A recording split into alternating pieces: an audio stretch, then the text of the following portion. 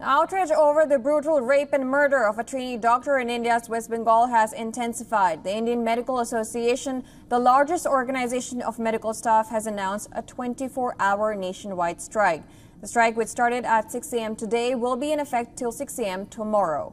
During the said period, OPD services will not function and elective surgeries will not be conducted at all government and private hospitals affiliated with IMA. However, emergency services will remain operational. This includes emergency care and critical treatments.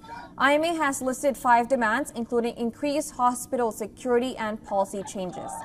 The trainee doctor was found dead in Kolkata's RG Medical College and Hospital last Friday. The postmortem report revealed that she was raped by more than one person before she was strangulated and smothered to death.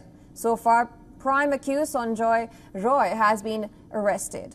The Central Bureau of Investigation, or CBI, has taken over the case. On Friday, Central Agency summoned four doctors of the Kar Medical College and Hospital.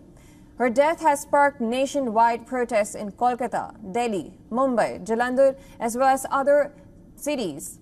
People took to streets demanding justice.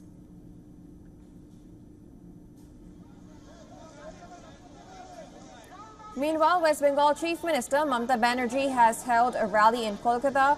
She demanded capital punishment for the guilty.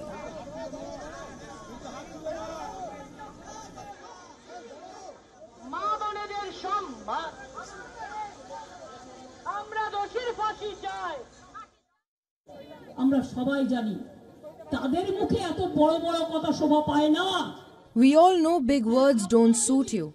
If you show concern for victims' family, then I don't have a problem. We shouldn't forget BJP killed Bilkis Bano's family.